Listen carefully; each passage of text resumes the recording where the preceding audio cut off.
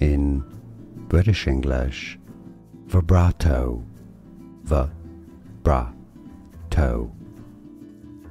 In American English, vibrato.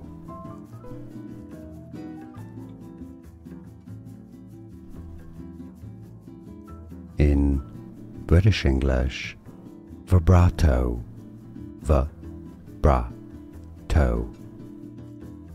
In American English, vibrato.